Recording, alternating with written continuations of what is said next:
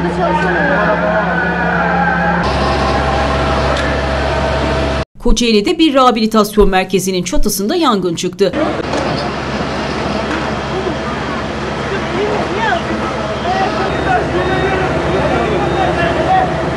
Yangın Başiskele'de meydana geldi. Çatı tadilatı yapımı esnasında çatıdaki brandalarda tutuşma meydana geldi.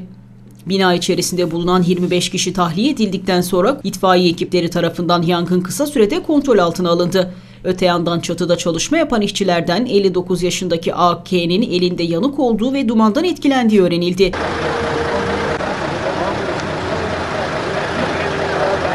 Olayla ilgili inceleme başlatıldı.